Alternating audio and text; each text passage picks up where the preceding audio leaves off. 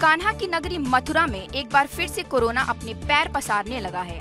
यहाँ प्रतिदिन कोरोना के मरीजों की संख्या में वृद्धि देखने को मिल रही है। अगर वर्तमान में बात करी जाए तो पॉजिटिव मरीजों की संख्या 12 है। इस संबंध में और अधिक जानकारी देते हुए सीएमओ डॉक्टर अजय वर्मा ने इस विषय में अधिक जानकारी दी है।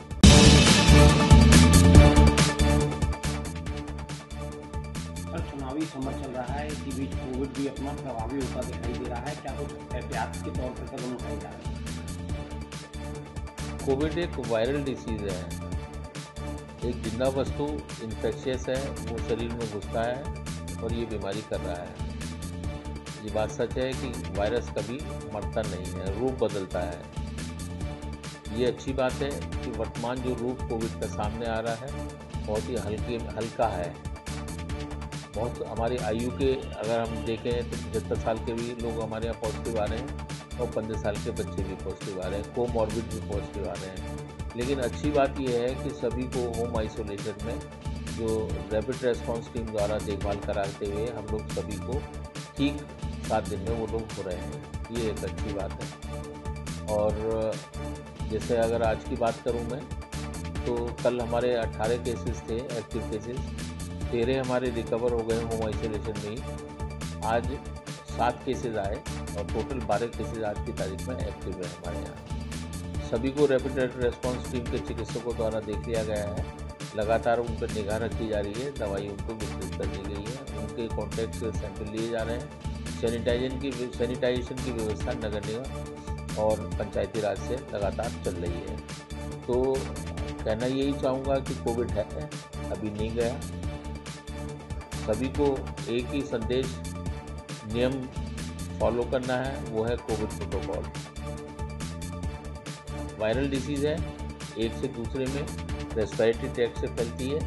उसके लिए ज़रूरी है कि हम लोग डिस्टेंस फॉलो करें, एक दूसरे से दूरी बना कर रहें, मास्क पहन कर रहें, सैनिटाइजेशन का यूज़ करें, हाथ धोने की प्रक्रिया को बरकरार रखें। बचाव ही एक साधन है चुनावी समय में भीड़ वगैरह रहती है तो इसके लिए आवश्यक है कि हम लोग अपना खुद का बचाव स्वयं करें। ये महत्वपूर्ण है जिसके लिए कोविड प्रोटोकॉल फॉलो किया जाना चाहिए। सर मतदान भी होना है। मतदान कर्मियों के लिए भी कुछ क्या दिशा निर्देश जारी किए गए मतदान कर्मियों के लिए ये है कि कोविड की जो है उनके अपने बचाव के लिए मास्क और सैनिटाइजर दिए जाने के लिए निर्देश आए हैं। अब वो व्यवस्था भी की जाएगी और उनको भी कोविड से बचाव का साधन उपलब्ध कराया जाएगा। मतदान के लिए क्या पब्लिक के लिए भी कुछ रेगुलेशन जारी की गई है या आमतौर पर जैसे चल रहा है वैसे ही चल रहा है? देखिए सबसे महत्वपूर्ण है सोशल डिस्टेंसिंग तो पब्लिक को चाहिए कि सोशल डिस्टेंसिंग मेंटेन पोलिंग बूथों पर सर मास्क ज़रूरी किए गए हैं मतदान मतदान कर्मियों के लिए हैं। वो लोग भी मास्क लगा के आए तो ये उनकी अपनी सुरक्षा है। इसके निर्देश पहले से निर्गत कराए जा चुके हैं जिलाधिकारी महोदय से। सर मथुरा आध्यात्मिक नगरी भी है और आध्यात्मिक के तौर पर भी लोग यहाँ आप देख रहे हैं भीड़ काफ़ी आ रही है।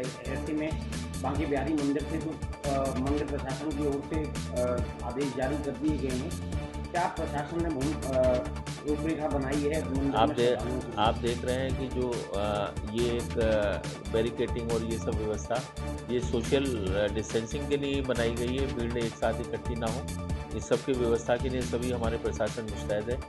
और तैयारी भी चल रही है और आप देखेंगे जनपद, आसपास के जनपद हैं, उसमें केसेस की संख्या काफ़ी ज़्यादा आ रही है, लेकिन मथुरा में अभी भी इतनी भीड़ एक साथ इकट्ठा होने के बावजूद भी उतने केसेस ईश्वर की दया से नहीं आ रहे हैं। उसका कारण है कुछ यही है कि पुलिस प्रशासन की मुस्तैदी के कारण डिस्टेंस सोशल डिस्टेंसिंग को हम लोग अभी भी काफ़ी हद तक बरकरार करा रहे हैं। कोविड प्रभावी भी है ऐसे में क्या कुछ जन अपील करना चाहेंगे आप? बस एक ही जन अपील है कि जो प्रोटोकॉल है जो हमने गंभीर था इस वायरस का असर उस दौरान भी हमने वही फॉलो किया था मास्क लगाना सोशल डिस्टेंसिंग आज भी वही फॉलो करें अपना बचाव सबसे महत्वपूर्ण है।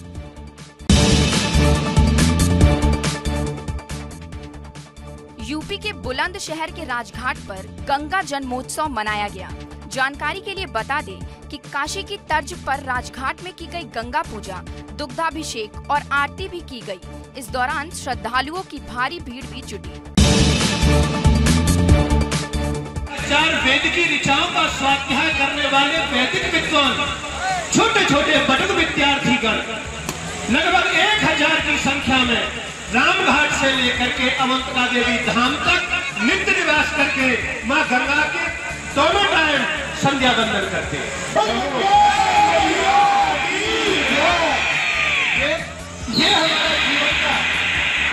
इसका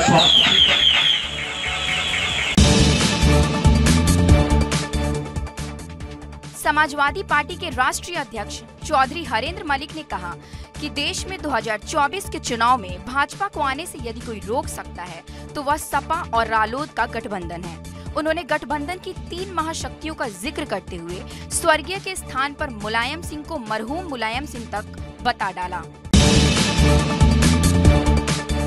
के लोगों, सवाल सोनू का नहीं है। आदिल का सवाल नहीं है, सवाल इस मुल्क के आइन को बचाने का सवाल इस मुल्क के संविधान को बचाने का सवाल है।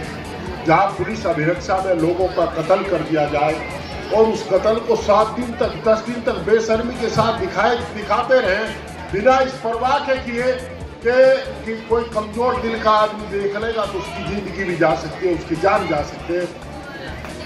ये हमारे इतिहास में बात हुई भाई हमारे हिंदुस्तान के इतिहास में कभी इस प्रकार कत्ल का लाइव वीडियो नहीं दिखा तो आपराधिक पृष्ठभूमि के व्यक्ति चले गए हमें कुछ नहीं देंगे परंतु तीन पैदा हो गए चिंता का विषय। दो गए, तीन पैदा हो गए। तो अपराधी तो एक बढ़ गया, पर सवाल अदालत के ऊपर खड़ा हो गया।